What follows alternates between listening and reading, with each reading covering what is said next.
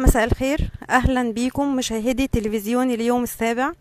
إحنا النهارده بنقدم لكم لايف جديد من محافظة الفيوم. المحافظة آه، شهدت واقعة غريبة جدا آه، في إحدى المدارس التجارية مدرسة الغرق التجارية بمركز إطسا بمحافظة الفيوم.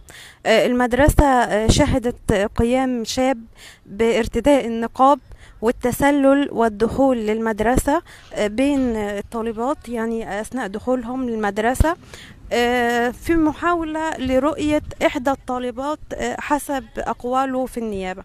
الواقعة بدأت أنه العاملين بالأمن المتواجدين على باب مدرسة الغرق التجارية كانوا واقفين الصبح فلاحظوا وأثناء وجود دخول الطالبات لل- للمدرسة دخول طالبة منتقبة لكن هم الحقيقة اشتبهوا فيها.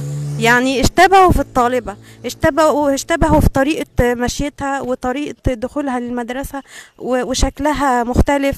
فالعمال أو المتواجدين على بوابة المدرسة آه، يعني آه، ركزوا أكتر. آه، الأول آم، يعني قالوا ممكن ده بالصدفة لأنه فيه أو ممكن ده عادي آه، لأنه في طبعا المدرسة فيها طالبات منتقبات وفيها مدرسات منتقبات. لكن لما ركزوا أكتر الحقيقة لأ ال- العمال شكوا جدا وقالوا إن ده مش مش ماشيه آه، طالبة ولا مدرسة بالمدرسة. زائد إن هو تصرفاته كانت مريبة شوية. يعني مش مش مش واحدة منتقبة عادية داخلة المدرسة. فدخلوا وراه شوية في مجرد دخوله من باب المدرسة وبدأوا يتأكدوا من من الشخصية وبعدين طلبوا من يعني أمسكوا بيه وطلبوا من إحدى الطالبات إن هي تشوف وشه أو من إحدى المدرسات آه، في محاولات يعني يكشفوا عن المنتقبة دي.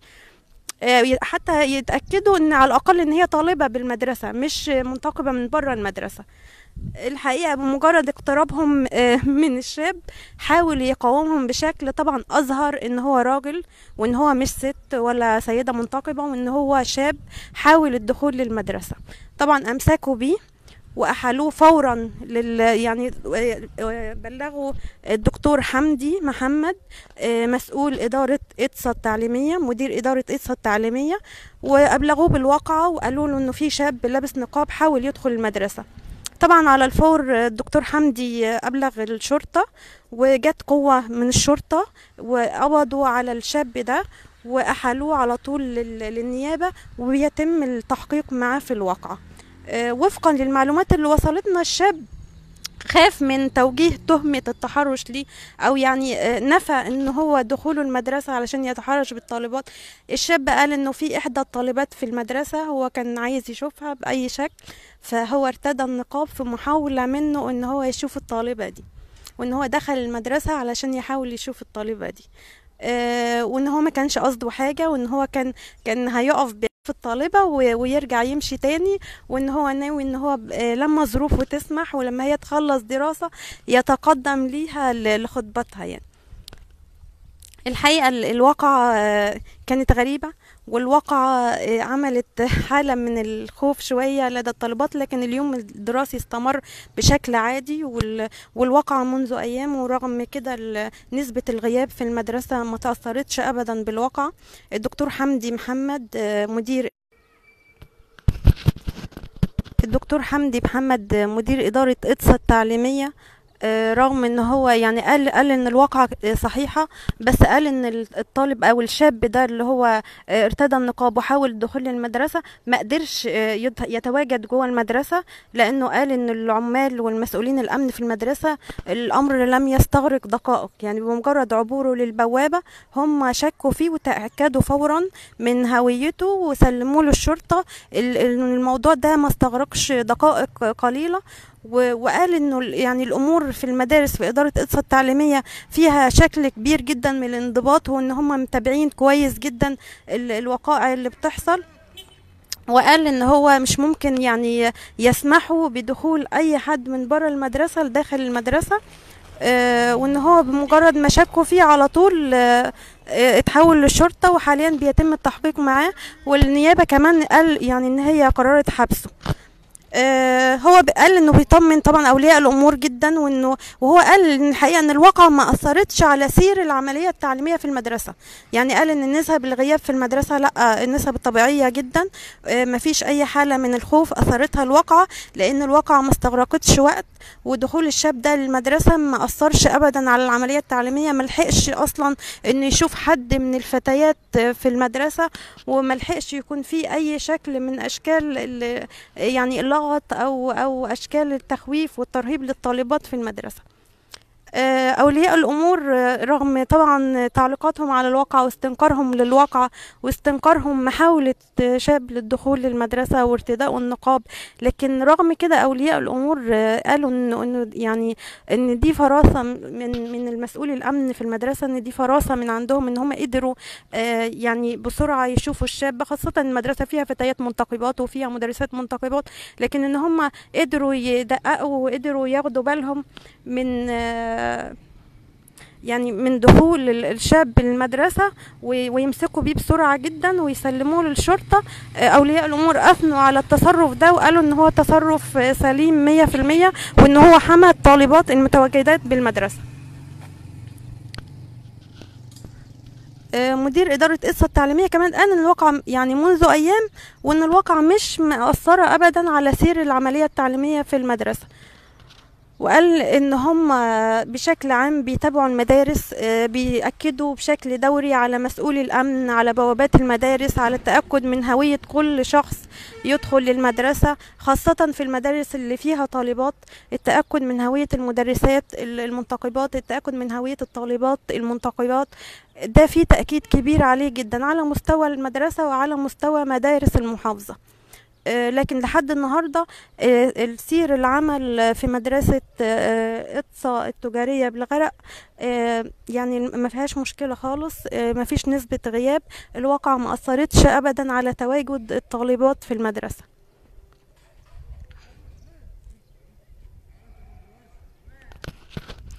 آه، يمكن ال- المدارس في الفيوم آه، يعني فيها نسبة طلاب كبيرة جدا. المدارس التجارية في العموم فيها نسبة طلاب وطالبات كبيرة جدا.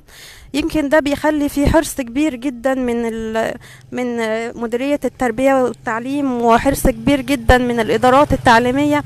على التأكيد بشكل دوري على مسؤولي الأمن بالمدارس بالتأكد من هوية كل الأشخاص اللي بيدخلوا المدارس والتأكد من خاصة يعني لو لو منتقب لو منتقبة داخلة المدرسة بيحاولوا يتأكدوا دايما إن هي من من المسؤولين عن التدريس بالمدرسة أو من الطالبات.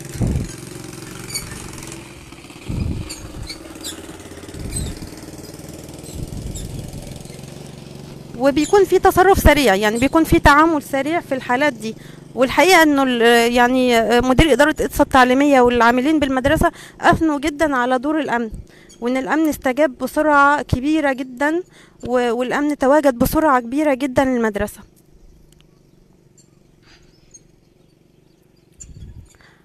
في تعليقات كتيرة جدا من أولياء الأمور آه، خلال الأيام اللي فاتت على الواقع. يعني أولياء الأمور مستنكرين الواقع جدا مستنكرين جراءة الشاب آه، مستنكرين إن هو يتجرأ ويرتدي النقاب مست... يعني مستنكرين إنه يتجرأ ويدخل مدرسة فيها طالبات. آه، لكن في النهاية أمن المدرسة تعامل آه، بشكل سريع ويعني وتصرف يحسب لأمن المدرسة إن هم قدروا يتعرفوا عليه بمجرد عبوره للبوابة. يعني زي ما قلنا إن الدكتور حمدي محمد مدير إدارة إقصى التعليمية قال إن الأمر ما استغرقش دقائق إنه بمجرد دخول الشاب من البوابة بشكل سريع جدا تم التعامل معه الحقيقة يعني بالمناسبة هي مش أول واقعة تشهدها إدارة إقصى التعليمية. يعني إقصى التعليمية تاني واقعة الأسبوع ده تشهدها أو كان في شائعة هو ما زالت قيد التحقيق ويتأكدوا من الشائعة دي إن في مدرسة قص- قصر الباسل الابتدائية اشتكى يعني تداول بعض أولياء الأمور إن مدير المدرسة قال للتلاميذ اللي في المرحلة الابتدائية إن المدرسة فيها عفاريت. وإن ده سبب حالة من الخوف والرعب لل- لل- للتلاميذ في المدرسة واليوم ده غادروا المدرسة.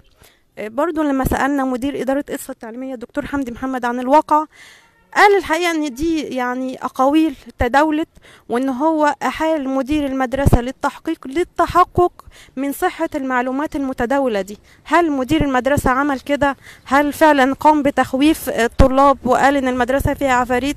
يعني قال إن الواقع قيد التحقيق وإن هو في حالة انه يكون ثبت إن مدير المدرسة قال كده فعلا وخوف الطلاب بالشكل ده هيحاسب وهيتخذ ضده الإجراءات القانونية. لكن بشكل عام قالوا إن المدرسة آه، فيها آه، يعني يصير العملية التعليمية فيها بشكل طبيعي ما فيهاش أي نسبة غياب. وده يعني وهو لذلك هو آه، شاكك بنسبة كبيرة إن تكون الواقعة صحيحة لكن هو قال ننتظر التحقيقات والشؤون القانونية آه، في الإدارة التعليمية هتحقق مع المدير المدرسة وتشوف. وكده يبقى إدارة إدفا التعليمية كان فيها واقعتين خلال الأسبوع ده آه، أغرب من بعض الحقيقة.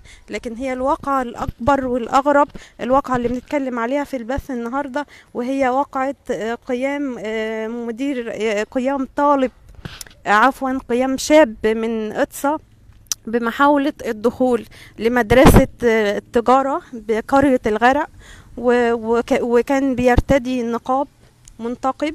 وحاول يتسلل لداخل المدرسة و- وإن هو أمن المدرسة آه، قبض عليه بسرعة جدا. يعني أمن المدرسة شك فيه. يعني نقول الواقعة علشان الناس اللي لسه بتشوف البث أو لسه عايزة تعرف إيه الواقعة هي الواقعة ان في مدرسة الغرق التجارية. أمن المدرسة اتفاجئ أثناء دخول الطالبات إن في طالبة منتقبة لكن غير طبيعية مريبة. تصرفاتها وتحركاتها ومشيتها لا توحي بأن هي طالبة. فالمسؤولين عن البوابة بمجرد عبور الطالبة دي للبوابة شافوا يعني حاولوا يركزوا معاها أكتر واقتربوا منها وحاولوا يشوفوا يعني يتأكدوا من شخصيتها ويسألوها عن هويتها. أنت هنا في المدرسة طيب أنت اسمك إيه؟ فاتفاجئوا إن هو بتقاومهم واتفاجئوا بصوت شاب. شالوا النقاب فاكتشفوا إن هو مش طالبة إن هو شاب مرتدي النقاب وحاول يدخل المدرسة.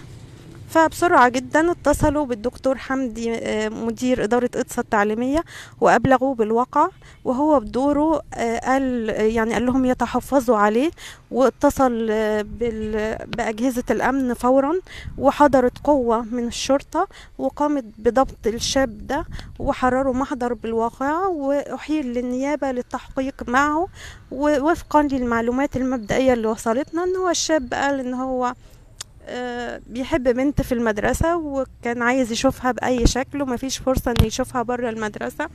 فلبس النقاب ودخل المدرسة وإن هو بس كان عايز يشوفها من بعيد و- وإن هو ناوي إن هو بمجرد ما ظروفه المادية تسمح إن هو يتقدم لل- للطالبة دي.